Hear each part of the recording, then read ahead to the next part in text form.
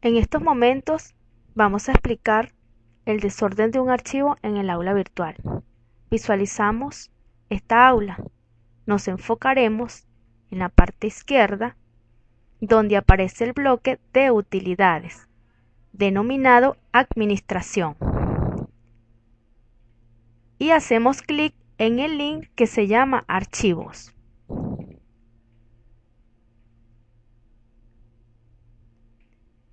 Seguidamente se muestra una pantalla en donde observaremos diversos archivos de manera desordenada, ya que hay directorios o carpetas con nombres diferentes.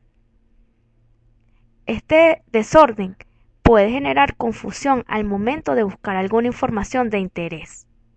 A continuación, se mostrará un video tutor con el procedimiento para organizar los archivos en carpetas o directorios correspondientes.